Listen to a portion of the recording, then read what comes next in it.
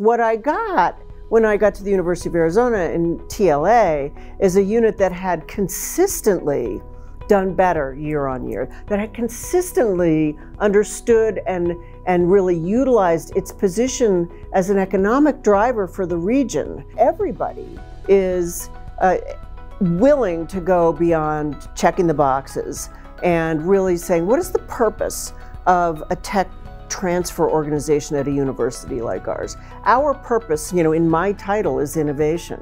Our purpose is to be uh, part of the innovation ecosystem in southern Arizona.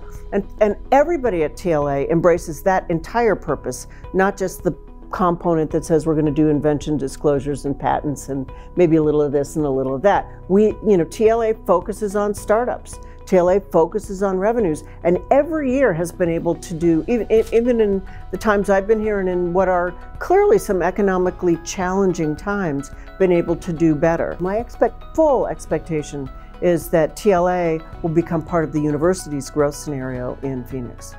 Helping faculty understand the compelling nature of the fact that that's an additional way to have impact beyond your publications or beyond the graduate students, the workforce you develop in an entirely new way. And TLA does an awful lot of the work to help get that there. So one of the ways I like to look at an entity like TLA in an innovation ecosystem is what impact does it have on the economy? We know, because we did a recent report, that it's had well over almost $2 billion worth of impact over the last five years. In an innovation ecosystem, the slow way to get investors is to sit and wait for them to discover you. An entity like TLA brings investors to our innovation ecosystem. And this includes the whole of Southern Arizona, really, but to our patent portfolio and our licensing stream and our impact stream from our faculty. And that expands and speeds up the rate at which these innovations become impactful. The numbers actually speak to the kind of, I'll call it the end of the ecosystem chain. But the beginning of the chain is intimately what TLA does in, in partnership with the university. It's the ideation at the university and the perfection of that ideation into something that the business community can use.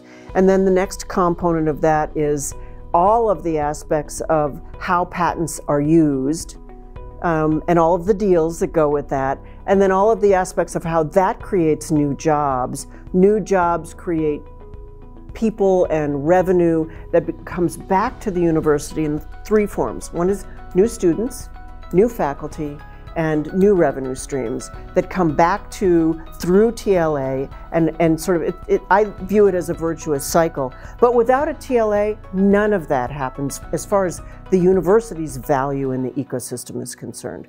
The university's value in the ecosystem is intimately tied to our ability to deliver impact through TLA. You have permission to think more broadly about what your potential impact can be than perhaps you've thought. And if you've already thought about it, you have permission to take action. Reach out to TLA.